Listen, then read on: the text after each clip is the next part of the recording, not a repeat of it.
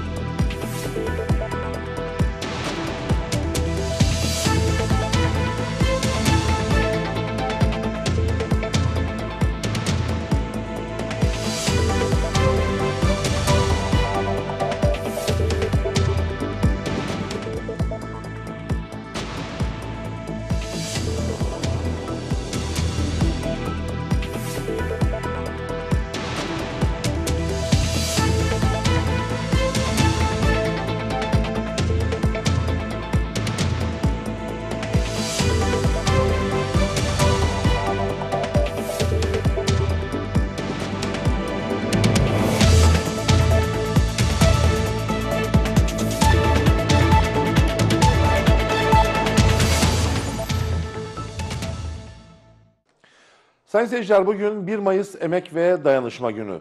Haber bültenimizin başında tüm işçilerin bayramını kutluyoruz. Erzincan'da 1 Mayıs nedeniyle kutlama programı düzenlendi. Kutlamalara bazı dernek, sendika ve siyasi parti temsilcileriyle işçi grupları katıldı.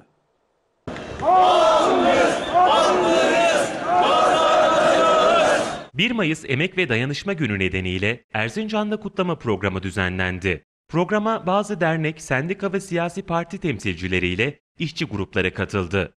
Eski terminal önünde toplanan grup, Fevzi Paşa Caddesi güzergahından yürüyerek Cumhuriyet Meydanı'na geldi.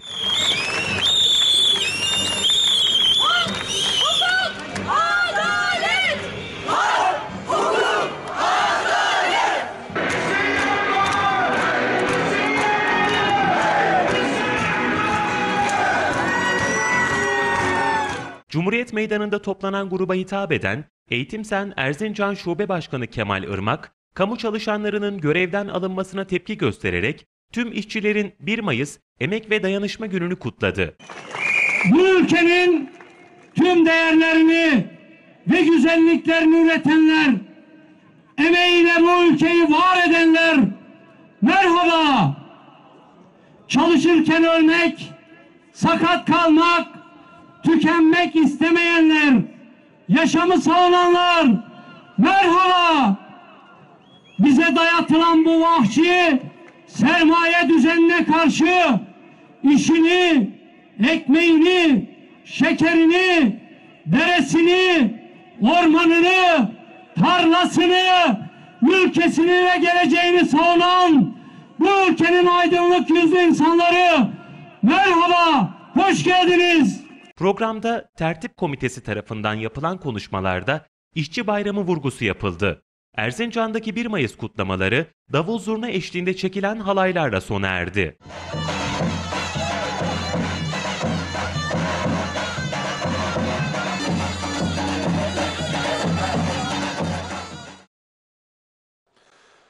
Bugün Erzincan'da iki ayrı halk otobüsü kazası yaşandı. Yunus Emre Mahallesi'nde otomobille çarpışan halk otobüsü devrildi. Kazada 10 kişi yaralandı. Yaralılar hastanelere kaldırılarak tedavi altına alındı. Erzincan'da özel halk otobüsünün otomobille çarpışması sonucu 10 kişi yaralandı.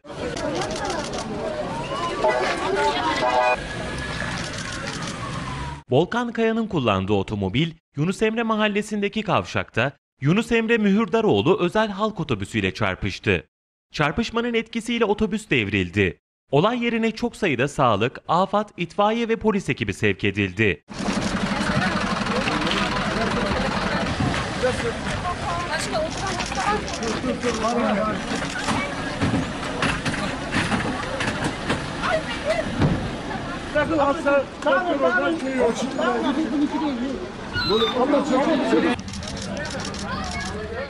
Kazada sürücülerle halk otobüsündeki Şenay Karslı, Şükran ve Özlem Şen Yıldız, Şefika ve Şehnaz Demir, Müşerref Akpınar, Nafiye Kürkçü ve Binali Kılıç yaralandı.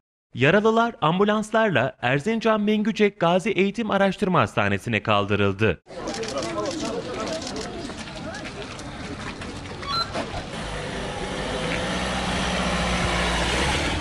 Kaza nedeniyle bir süre trafik akışı sağlanamadı.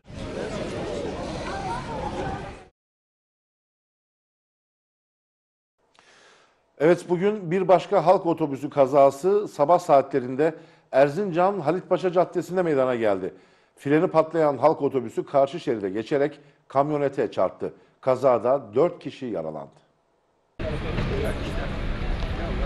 Erzincan Halitpaşa Caddesi'nde seyir halinde olan özel halk otobüsü, freninin patlaması nedeniyle yolun ortasındaki refüjü aşarak karşı şeride geçti. Otobüs kamyonete çarparak durabildi. Kazada 4 kişi yaralandı. Kaza nedeniyle yol trafiğe kapatılırken, yaralılar olay yerine gelen ambulanslarla hastaneye kaldırılarak tedavi altına alındı.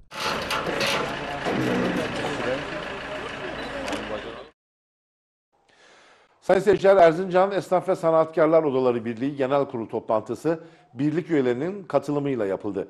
Genel kurulda yapılan seçime tek aday olarak katılan Bedir Limon, güven tazeleyerek başkanlık görevine yeniden seçildi. Erzincan Esnaf ve Sanatkarlar Odaları Birliği olağan genel kurul toplantısı birlik üyelerinin katılımıyla yapıldı.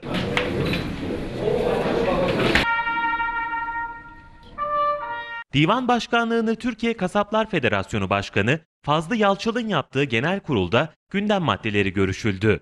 Raporların okunarak ibra edilmesinin ardından konuşan Birlik Başkanı Bedir Limon, yaptığı çalışmalar hakkında bilgi verdi. Evet değerli genel kurul üyeleri, tam 4 yıl önce yine bu salonda yapılan genel kurulda şahsımı ve yönetim kurulu üyelerimi göreve getirdiniz. 4 yıl aradan sonra yine karşınızda bulunmakta ve bir 4 yıl için daha sizlerden görev talep etmekteyiz. Göreve geldiğimiz günden bu yana birçok çalışmaların altına imza attık. Yapılan bu çalışmaları bireysel başarıdan çok oluş, oluşturduğumuz ekip ile beraber yapılan doğru işlerin olumlu sonuçları olarak yorumluyoruz. 2014 yılında göreve geldiğimizde birliğimizin içinde bulunduğu ekonomik sorunların çözülmesi olmazsa olmazlarımızdı. Birliğimizin en büyük gelir kalemi, kalemini oluşturan basın üstün muhasebesi dağılmış, elde edilen gelir yarı yarıya düşmüş ve bu nedenle borçlar ödenmez hale gelmişti. Ve bu konuda bütün başkanlarla, başkanlara teşekkür ederim. Hep beraber yeniden bir organizasyonla ve sizlerin desteğiyle bu bugün itibariyle bu ilk gün, günlerdeki inveyi yakalamış bulunmaktayız.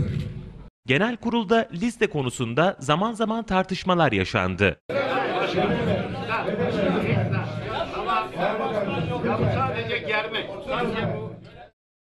Ardından seçime geçildi. Seçime tek aday olarak katılan Bedir Limon, güven tazeleyerek başkanlık görevine yeniden seçildi.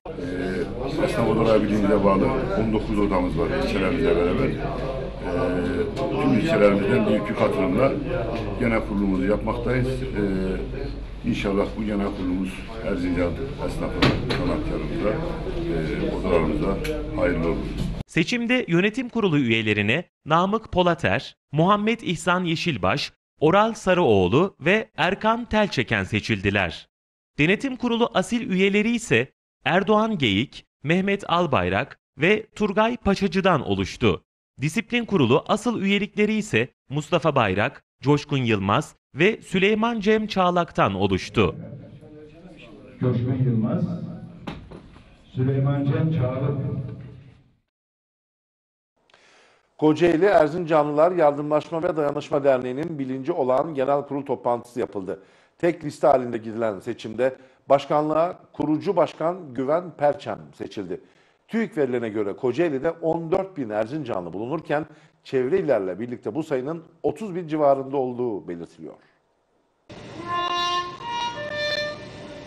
Kocaeli Erzincanlılar Yardımlaşma ve Dayanışma Derneği'nin birinci olağan genel kurulu Fuar içi Sivil Toplum Merkezi'nde gerçekleşti.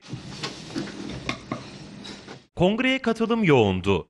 Kongrenin divan başkanlığını en yaşlı üye sıfatıyla emekli eğitimci İbrahim Bayram, katip üyeliklerini ise Kocaeli Vergi Dairesi Başkan Vekili Halil İbrahim Temiz'le Toplu Taşıma Daire Başkanı Salih Kumbar'la iş adamı Çetin Özmen üstlendi. Derneğin kurucu başkanlığını üstlenen Kocaeli Tarım İl Müdürlüğü'nde tekniker olarak görev yapan Güven Perçem Başkanlığındaki tek liste göreve getirildi. Anadolu'nun kültürünü Kocaeli'nde yaşamayı ve yaşatmayı hedef olarak belirledik. Çıkmış olduğumuz bu zorlu ve meşakkatli yolculukta yükümüzü hafifleten, bizlerin yanında olan, desteğini hiçbir zaman esirgemeyen, başta gururumuz, medarı iftiharımız, Türkiye Cumhuriyeti'nin son başbakanı, kendi geleceğini ülkenin geleceğine feda eden, Sayın Binali Yıldırım olmak üzere emeği geçen tüm gönül dostlarına, şahsım, dernek yönetimim ve tüm Erzincanlılar adına saygı ve minnetlerimi sunuyorum. Kocaeli Erzincanlılar Derneği'nin yönetimi şu isimlerden oluştu. Yönetim Kurulu Başkanı Güven Perçem, Başkan Yardımcısı Mehmet Akkılıç, Sekreter Nermin Kepçi Çetinkaya, üyeler Ahmet Yılmaz, Osman İnanoğlu, Halil Doğan ve Serdar Göksu.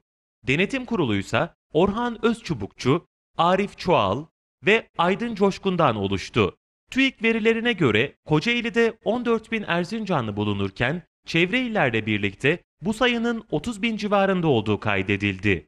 hem Ankara'da hem İstanbul'da aynı zamanda Erzincan merkezde bize her noktada mücadeleyi sürdürerek destek oluyorlar.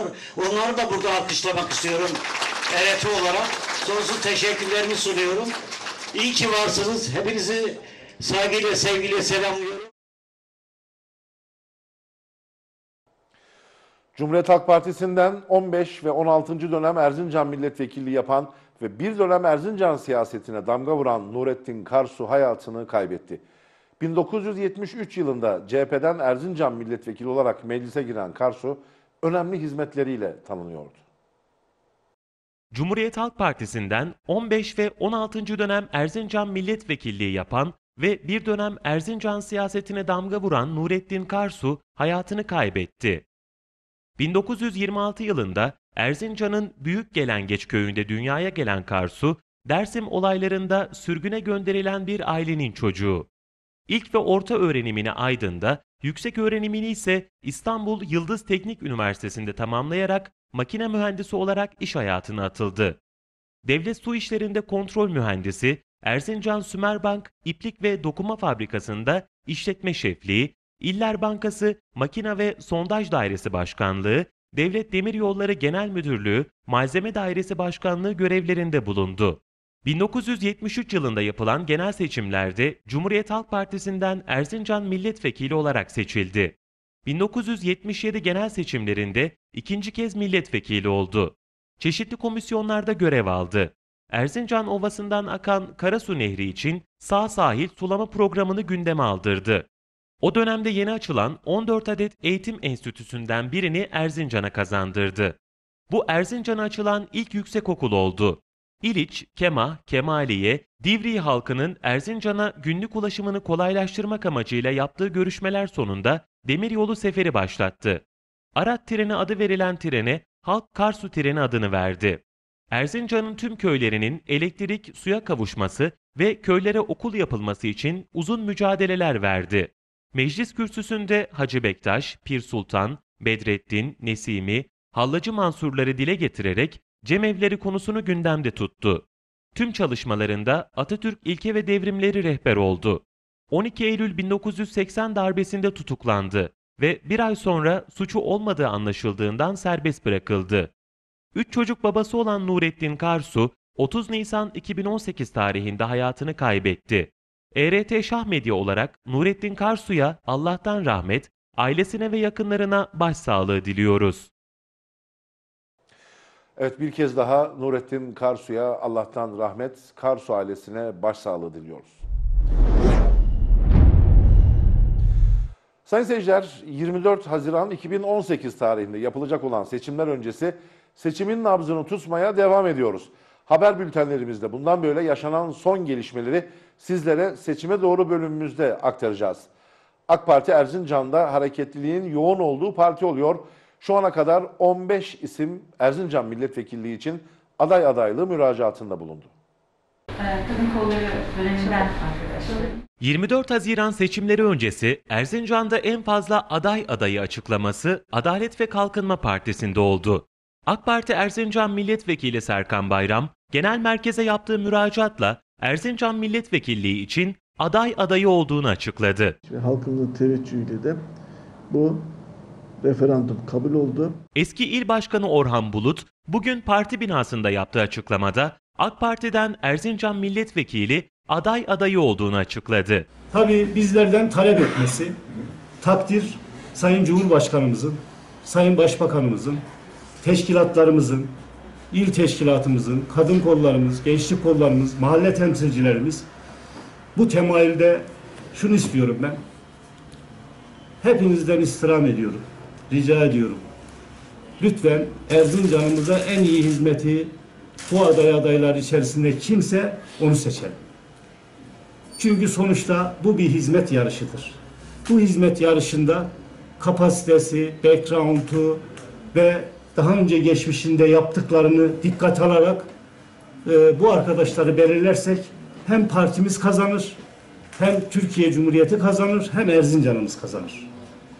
Ben bu anlamda AK Parti teşkilatlarına ve yetkili kurullarına güveniyorum.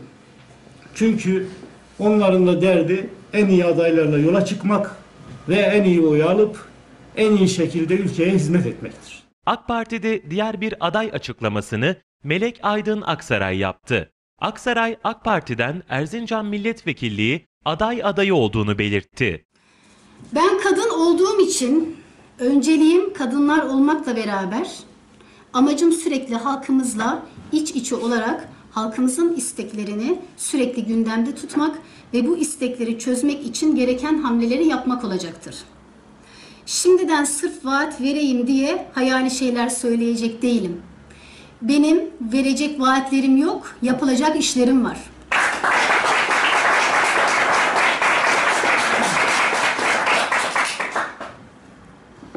Bu tür şeyleri söyleyenlere de kimsenin inanmadığının farkındayım. Çünkü Türk milleti zeki bir millettir. Hayal ve gerçeği ayırt edebilme yetisine sahiptir. Öncelikle en ücra yerlere kadar gidip saha çalışması yapmamız, gerekirse kapı kapı dolaşıp her bir hanenin aslında ne istediğini görmemiz lazımdır. Sorunu bilmeden sorunun çözümünü yapamayız. Önceliğimiz ilk aşamada tespite yönelik olacaktır. Akabinde milletimiz omuz omuza, sırt sırta vererek bu şehre olan bağlılığımızı göstereceğiz. Umarım Cumhurbaşkanımız Sayın Recep Tayyip Erdoğan beni bu göreve layık görür ve bu şehre olan vefa borcumu öderim. Evet Cumhuriyet Halk Partisi'nde Erzincan Milletvekilliği için şu ana kadar 5 aday adayı müracaat oldu. CHP'de müracaatlar devam ederken aday adayları çalışmalarını sürdürüyor. Cumhuriyet Halk Partisi'nin Erzincan Milletvekilliği için şu ana kadar 5 aday adayı müracaatı oldu.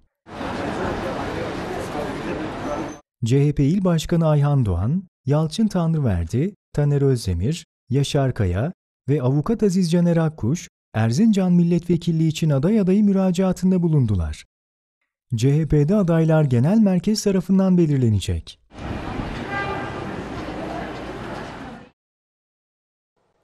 Seçime AK Parti ile ittifak yaparak girecek olan Milliyetçi Hareket Partisi'nde şu ana kadar 3 isim Erzincan Milletvekilliği için aday adayı oldu. MHP'de müracaatlar 3 Mayıs'ta sona erecek. İl Başkanı Sakin Sönmez yaşanan süreci ERT Haber'le paylaştı.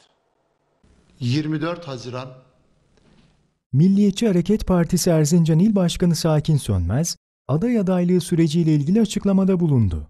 Sönmez, şu ana kadar 3 kişinin müracaatı olduğunu belirterek sayının artabileceğini belirtti.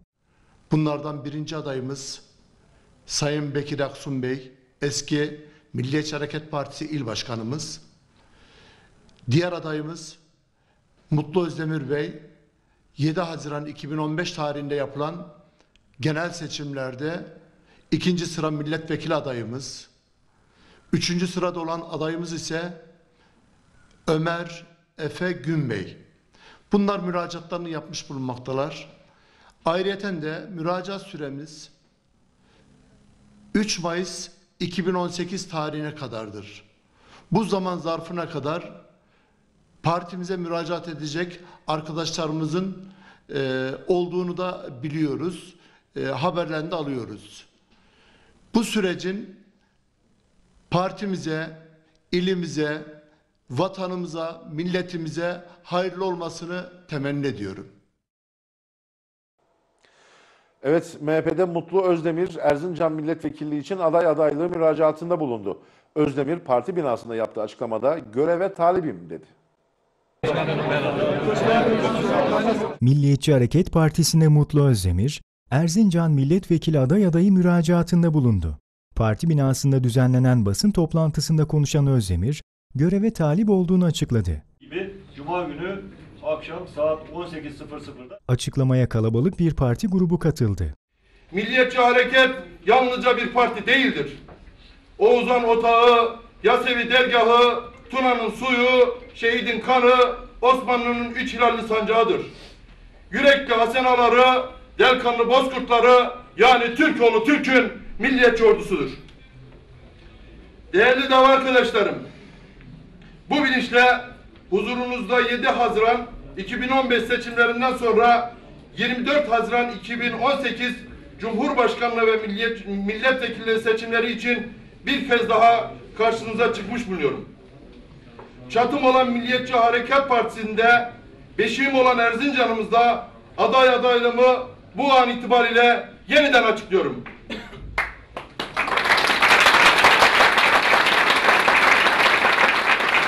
Ve tekrarlıyorum. Bizi yetiştiren vatanımıza, milletimize hizmet borcumuzdur. Borcumuzun da kölesiyiz.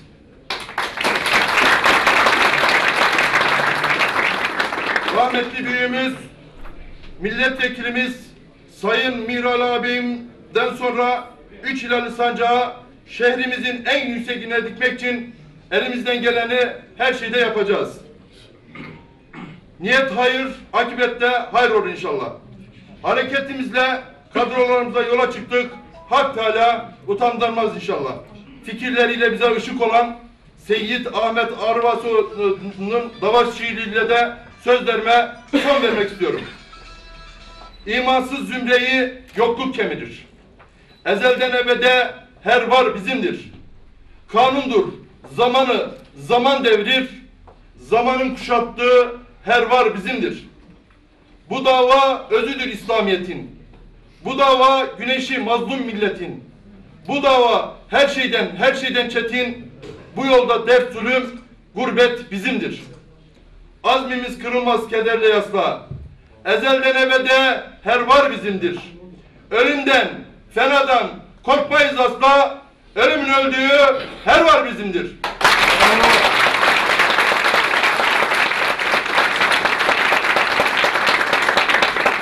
Hepinizi bir kez daha saygıyla hürmetle selamlıyorum. Varlığımız Türk varlığına armağan olsun. Ne mutlu Türk'üz diye.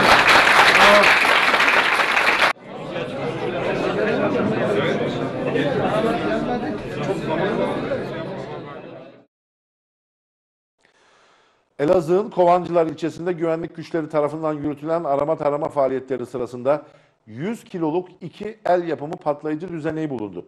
Patlayıcılar imha edildi.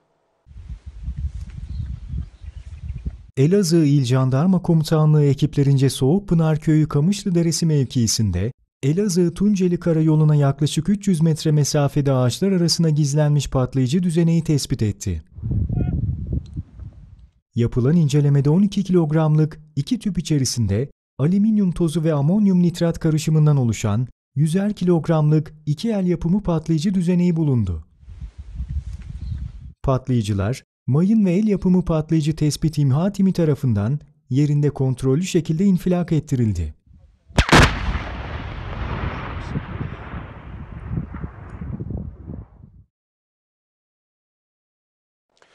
Erzurum'da torbacı olarak tabir edilen uyuşturucu satıcılarına yönelik operasyon düzenlendi.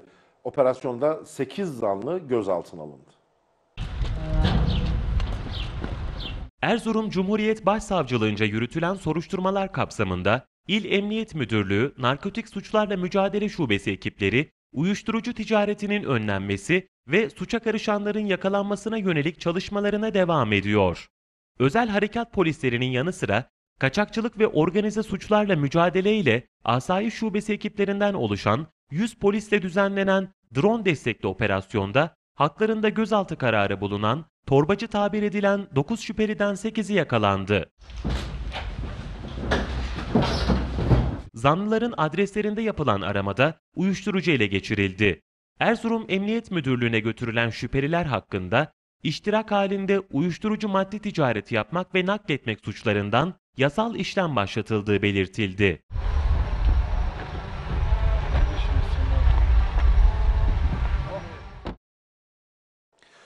Çaykur Rizespor bir sezon sonra yeniden Spor Toto Süper Lig'e yükselmenin mutluluğunu yaşıyor. Şehirde adeta bayram havası esiyor. Süper Toto 1. Lig'de 2017-2018 sezonunun 33. haftasında 66 puana ulaşan Çaykur Rizespor, Spor Toto Süper Lig'e yükselmeyi garantiledi. Geçen sezon Süper Lig'den düşen Çaykur Rizespor, 2017-2018 sezonunda mücadele ettiği Spor Toto 1. Lig'den tekrar bir üst lige çıktı. Rize'deki Çaykur Rizespor taraftarları, Ümraniye Spor maçını Memiş Ağa Parkı'ndaki dev ekrandan izledi. Maçtan sonra taraftarlar büyük sevinç yaşadı. Şampiyonluk coşkusu yaşayan taraftarlar, araçlarıyla şehir turu yaparak takım bayraklarını salladı. Rize halkı gün boyu şampiyonluk kutlamaları yaptı.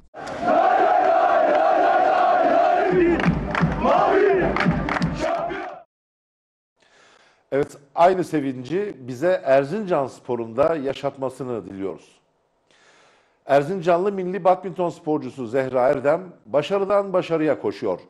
Avrupa Şampiyonası'na katılan Erdem çift kızlarda birinci, takım olarak ikinci ve tek kızlarda Avrupa üçüncüsü olarak Avrupa'nın en başarılı sporcuları arasına girdi. Erzincanlı milli badminton sporcusu Zehra Erdem, katıldığı Avrupa Şampiyonası'nda önemli derecelere imza attı. Erdem çift kızlarda birinci, takım olarak Avrupa ikinciliği ve tek kızlarda Avrupa üçüncüsü olmayı başardı. Aldığı 3 madalyayla dikkatleri üzerine çekerek Avrupa'nın en başarılı sporcuları arasına giren Erdem, en başarılı genç oyuncu kategorisinde aday gösterildi.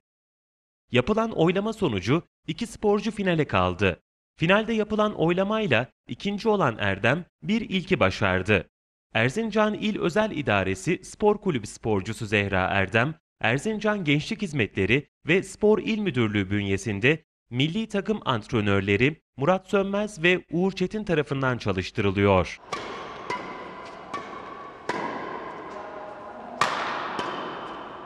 Öncelikle çok mutluyum. Bu sürece çok çalışarak geldik. Yeri geldi günde 3 antrenman bile yaptık. Çok iyi hazırlandık Avrupa Şampiyonası'na. İstediğimiz sonuçların daha iyisini aldık. Evet başarılı badmintoncu Zehra Erdem'i tebrik ediyoruz. Kısa bir aradan sonra hava durumuyla sizlerle birlikte olacağız. Evet şimdi de Erzincan ve çevre illerde beklenen son hava tahminlerini getiriyoruz ekranlarınıza.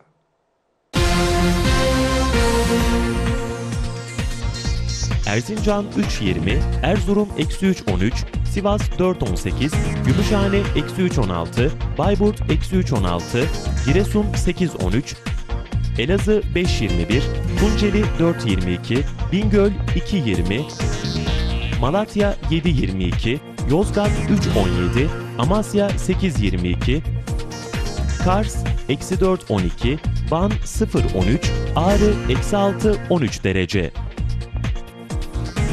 Serbest piyasada dolar alış 3.95, satış 3.96. Euro alış 4.87, satış 4.88. 22 ayar altın bilezik alış 153.94, satış 155.47. Tam altın alış 1122.06, yarım altın alış 561.10, çeyrek altın alış 280.55'ten işlem görüyor.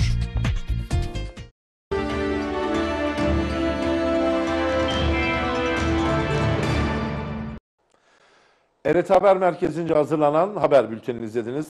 Yarın aynı saatte farklı bir gündemde buluşmak dileğiyle hoşçakalın.